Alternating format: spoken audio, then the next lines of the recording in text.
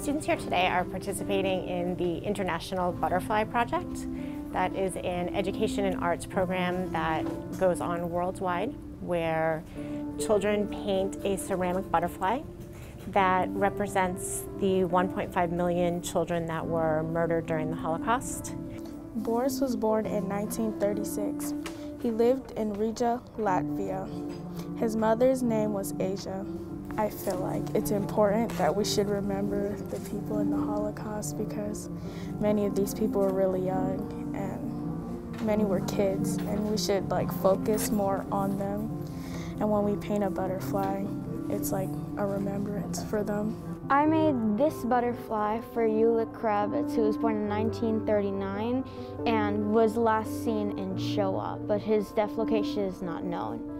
Um, I chose to create this butterfly with yellow, purple, and red because in Diary of Anne Frank, a diary about a girl in the Holocaust, yellow was one of the only colors that brought happiness to the people that, in, that were that to the Jews, and purple really complements yellow. Students naturally gravitate to the arts, and through the Butterfly Project, students are able to make artistic choices that connect with history and remembering others.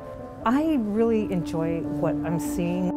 A few of the kids had a lot of information already about the Holocaust, and I think it being children affected them. When we learn the Holocaust in a personal way, we remember it, we own it, we feel it. The Holocaust wasn't about six million people that died. It was about each person being an individual.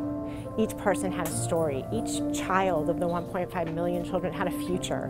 We don't know what they would have been. And it's our obligation to remember them and to honor them.